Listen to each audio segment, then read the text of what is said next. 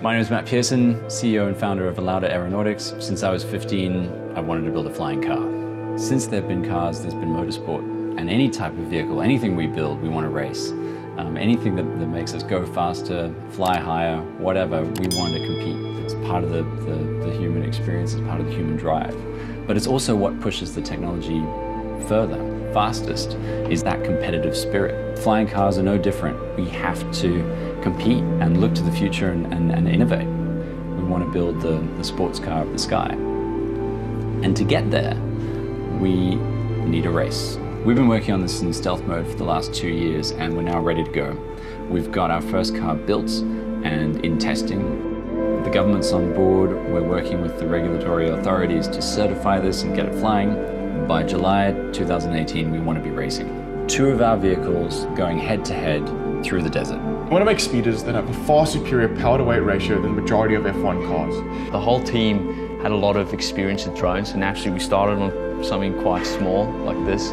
Uh, we used that to develop our flight control system. From there, we then moved to a much bigger system, which put the motors in the same position as our final speeder.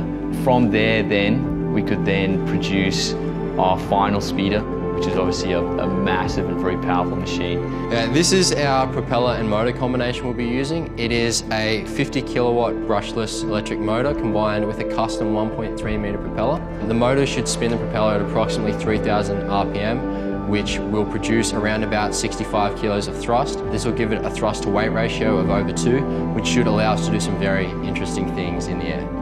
What we need now is your help to show sponsors that there's an audience for this. People are genuinely interested in a flying car race. We need your help to get this off the ground, quite literally.